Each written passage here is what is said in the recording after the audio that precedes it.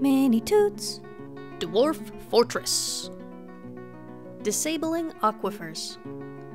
Aquifers are the bane of every new player's Dwarf Fortress existence, and it is strongly recommended that you disable them entirely until you're ready to deal with them.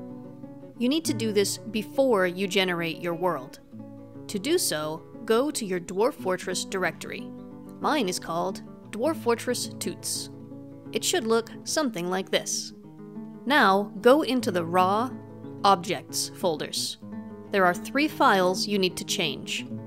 Inorganic stone layer.txt, inorganic stone mineral.txt, and inorganic stone soil.txt.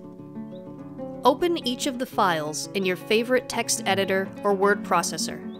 Open the Find and Replace function. In the Find field, type open square brackets, aquifer, close square brackets, in all caps. In the Replace field, type the same thing, but replace the square brackets with parentheses, like this.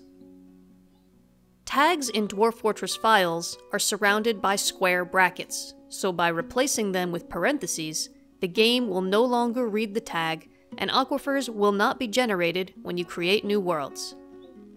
If you later decide to turn aquifers back on, you can do so by doing the find and replace process again, finding aquifer in parentheses, and replacing it with aquifer in square brackets.